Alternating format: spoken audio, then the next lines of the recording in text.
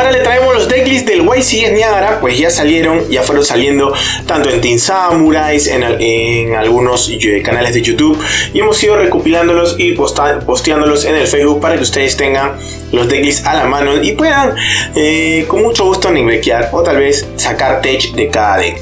Vamos a comenzar con algunos y de ahí vamos a ver con el top que de por sí ha salido tres de los cuatro mejores de este YCS que ha sido bastante interesante y que le ha dado cabida mucho a qué? Al Danger. Para comenzar tenemos top 32 YCS Niagara, eh, Spiral Danger, Chong Neu, no sé cómo se pronuncia bien su nombre, en el, él está jugando Spiral Danger Muchos me han preguntado y me están pidiendo que haga el replay de este deck, o sea, que juegue con este deck y vea qué tal reacciona. Me parece muy buena idea, creo que voy a tomar esto a coyuntura. El mismo, si ustedes vieron el profile por YouTube para que para armar este deck, verlo, él mismo dice que el Spiral Top lo lleva solo dos, porque tres es mucho, y de ahí todo lo, lo necesario. En sí, si gusta, no lo quiere llevar, o sea, podría llevar uno.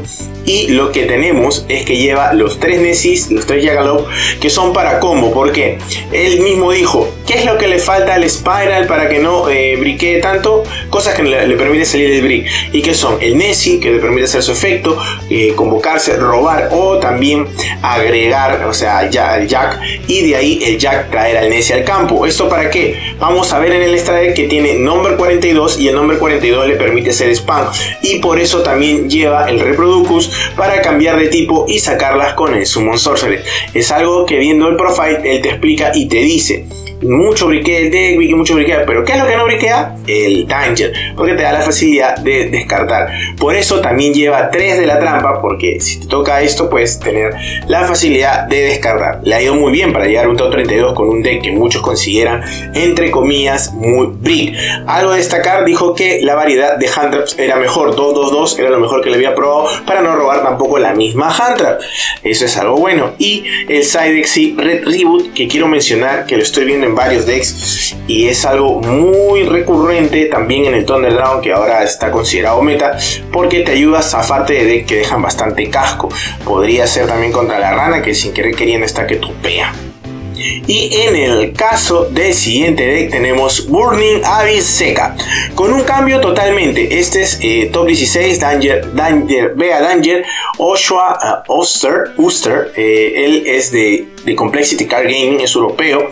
Y acá vemos, él mismo dijo, solo llevo dos de cada este, Burning Abyss bueno para hacer combo.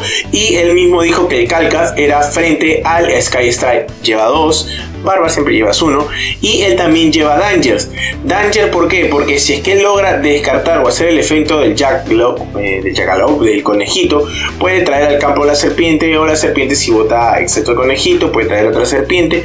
Y ya tiene jugada. A su vez, con esto te desatora. ahí suena, medio raro, te desatora. Bueno, te, saca de eh, un brick. Porque los Dangers solucionan esto de que pueden descartar, se puede convocar o puedes robar. Algo muy interesante. A su vez, lleva lleva los eh, Kaijus, tiene el nombre, y también dijo que era contra los Sky Strike para poder jugar tranquilo y que no juegue su back.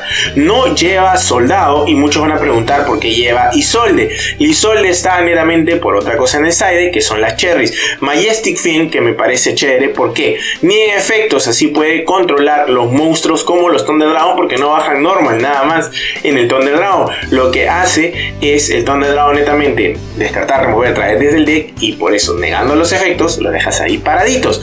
Él, en vez de llevar los Envoy, lleva los Orbital y un DAT, dijo el papá DAC. Eso me gustó bastante. Y otro más con Red Reboot, algo que acotar bastante. Y también la Ghost Belle, que lleva dos en main y un en side. Y él mismo dijo que hubiera preferido en vez del D-Crow la Ghost Belle porque puede parar al Thunder y puede hacer alguna que otra jugada frente también al Sky.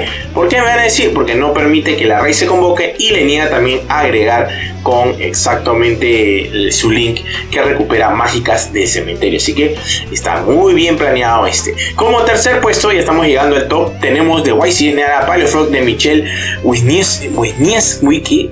Bueno, Michelle, ahí nomás, no puedo pronunciar su apellido, super. Él está jugando una versión de Frog que mucho le, en, su profile le pregunta, eh, le preguntan, pero no llevas Power Row, mucho eso, no, porque el deck se va juntando, va generando Hunter y eh, va, generando trampas. Y lo que me gustó bastante fue Lilith, que es muy buena jugada también con el Tratrix, porque puedes buscar cualquier trampa normal y por lo que ves, lo único que llevas que no es normal es el Gozen Match. Algo a destacar es los dos Borres Word que dice que es para poder hacer OTK porque puedes hacer spam de bichos y estos te sacan bichos grandes. Eh, otra cosa de notar es el Loswi junto con Marela, creo que es la que manda el cementerio, no me acuerdo bien los nombres de los, eh, de los palios, pero con ella bota eso y el Recto Skill también sé que te pueden dejar algo parado y que necesitas botar y remover para poder zafarte de algún, algún monstruo condicionante. Y lo que sorprendió fue esta espada de, luz, que es trampa, que pagas múltiplos de mil. Pues exactamente para llegar al top 4 les tocó contra Andrés Torres en los Futuring Match. Y vamos a ver que él con esto le gana. Y Andrés Torres en su Facebook estuvo diciendo: Solo lleva una carta para detener al Thunderdragon. Y le salió. Fue una suerte tremenda. Summon Sorceress a Kajish porque puede levantar los monstruos y puede tener jugadas. De verdad, a mí en eso particular me gusta. Y de ahí en Side Full Hand Trap como son Y también la eh, Bele porque paran al Thunderdragon y te dan también la facilidad de eh, controlar a tu oponente cuando va segundo. No es nada más así por poner. Y los Mistake que es para netamente el Sky Strike junto al Anti-Spell. Algo que él dijo, solo dos Dark Ride porque prefiere llevar Solen porque le puede servir contra otra convocatoria o contra otra cosa que no solamente sea negar el Evelyn Match. No hay Evelyn Match en Side. Y el segundo, en este caso, bueno, no el segundo, el top 4, creo que es el cuarto lugar, tenemos al Charleston Underground de Jake Kings. Este sí es un jugador un poco más experimentado y que ha armado un deck en torno a casi todo la temática caos. Vemos caos porque vemos dos envoys y la carta premio del YCS exacto, que está carísima, y un, eh, y un.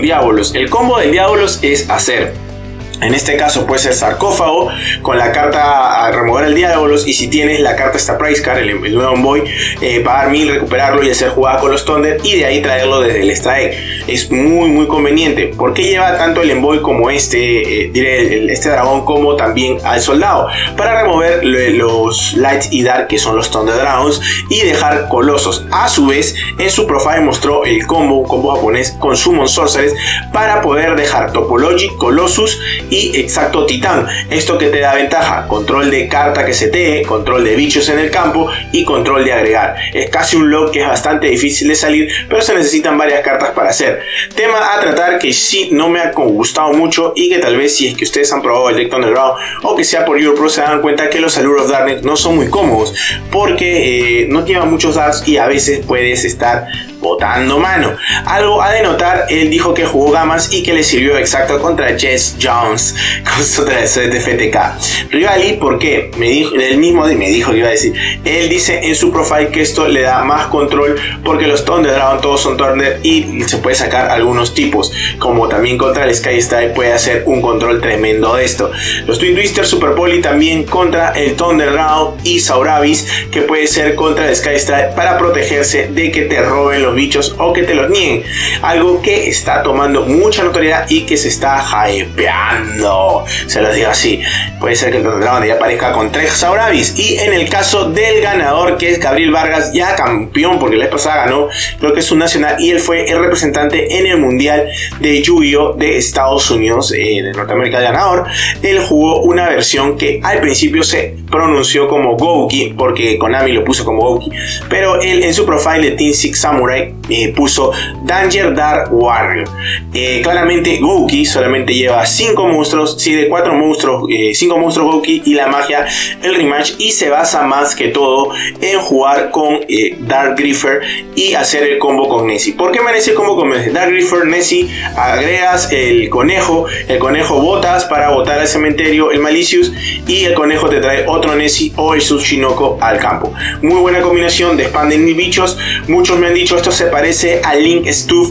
Eh, Link Stuff creo que es de, OCG. Y sí, esto es lo que hace, es más que otro spam de campo para generar la U o si no generar el exacto, el extra link que muchos ya conocen para cerrar duelos.